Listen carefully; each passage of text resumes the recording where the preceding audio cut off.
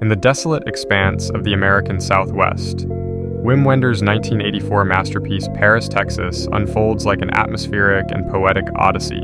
It tells the story of a man who emerges from the desert after four years of unexplained absence and has no recollection of anything. After he returns home, he's reunited with his son and begins to reflect on the impact of his absence as a father.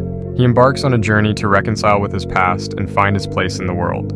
As he confronts the ghosts of his past, he grapples with the complexities of love, loss, and the search for redemption. Everything about this film is executed to perfection, from its beautiful cinematography to its outstanding performances and incredible score.